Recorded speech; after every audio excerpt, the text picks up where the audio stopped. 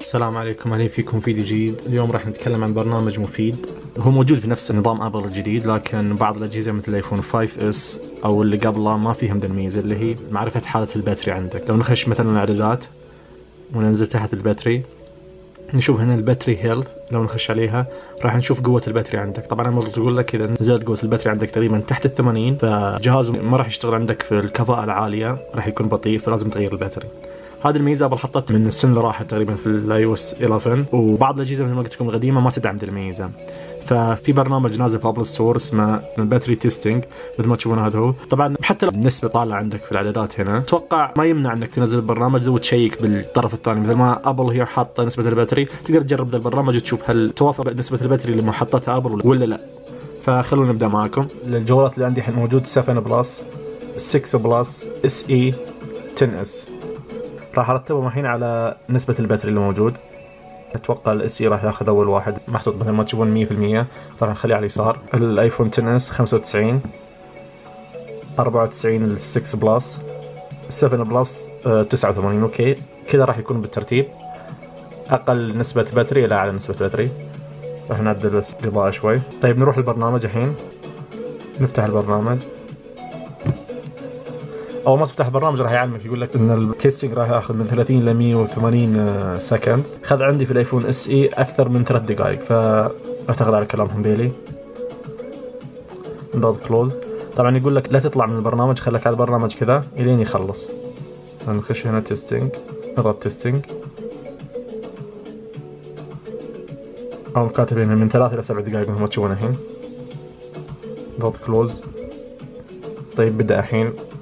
كلهم يسوون testing راح يجيك أحيانا ad اللي هي الإعلانات في الوجه cancel ها بس. وأهم شيء مثل ما قلت لكم لا تطلع من البرنامج خلي البرنامج كذا. مثل ما تشوفون طلع الإعلان هنا راح ن cancel ه بس ننتظر بس يخلص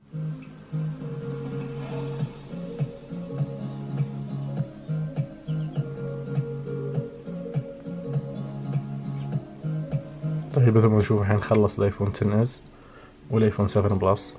لو بنخش هنا هذه النقاط اللي أعطانا. وهنا النقاط اللي أعطانا لو نضغط مثلا على النقاط نفسها.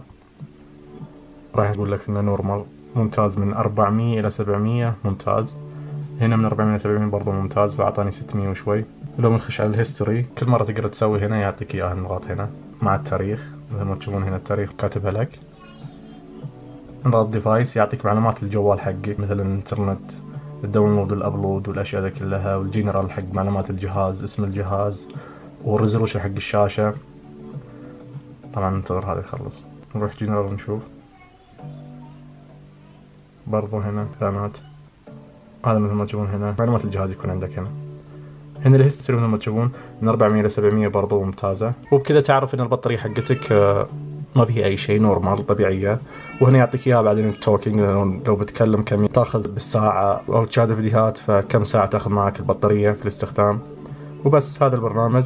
طبعا البرنامج زي ما قلت لكم مجانا فاللي بيحمله يحمله من ال App Store رابط البرنامج يكون معك تحت. ومثل ما قلت لكم آه إذا كانت ال battery حقتك تحت تقريبا 80 راح يقول لك ان ال battery حقتك لازم تغيرها وبتشوف الجهاز يقل أداء ال battery. بس تغير ال battery يرجع أداء الجهاز طبيعي. ليش؟